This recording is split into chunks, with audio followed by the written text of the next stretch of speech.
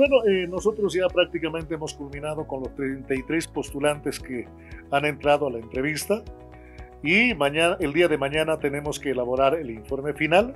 La ley es clara, mínimo 5, máximo 10 y de acuerdo a la participación, de acuerdo al orden calificativo, seguramente ya vamos a hacer que la Asamblea Legislativa conozca la lista final y el presidente nato de la Asamblea Legislativa ya tendría que convocar el día viernes o el día sábado Así de esa manera vamos a cumplir exactamente y estrictamente con lo que está establecido en la ley 1579.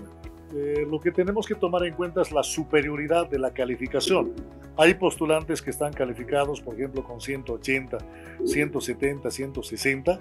Hay postulantes también que han cumplido lo que dice la ley 130.